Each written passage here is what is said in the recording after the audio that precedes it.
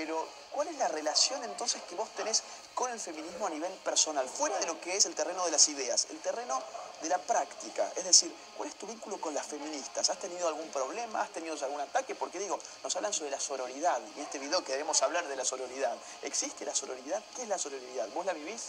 Eh, no, al contrario, eh, una mujer al, al ser, al presuponer que debemos encajar en ciertos estereotipos, y ellas odian los, este- los estándares de belleza, pero adoran imponer sus propios estándares, Sí. nosotras somos enemigas.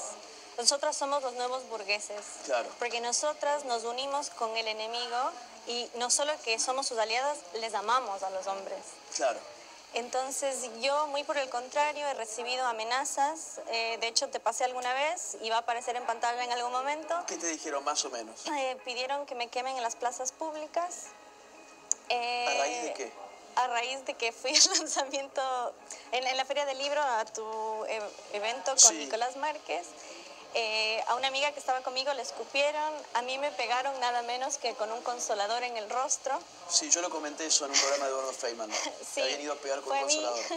Sí. Eh, justamente porque mm, estaban hablando de la identidad de género y yo decía que una persona tiene el pleno derecho a expresarse como quiera. Sí. Si se quiere expresar de una manera, puede hacerlo, con la misma libertad que uno puede decir que alguien es biológicamente de una manera Sí. y que se identifica de otra. Y entonces una de estas feministas, con pañuelo verde, eh, me di- que haciendo apología del aborto, me, me pidió corroborar mi sexo. Porque yo le dije, si yo digo que me identifico varón, y al querer aproximarse a mi sexo, eh, quiso ver dentro de mi pantalón.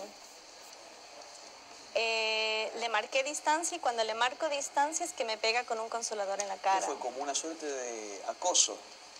Sí, es- yo estaba, yo quise honestamente así, con esta voz suave y templanza que me escuchan, yo me acerqué a hablar con ellas porque estaban gritando, insultando, agrediendo y les dije, chicas, ¿saben de qué están hablando? Porque estaban hablando de fascismo.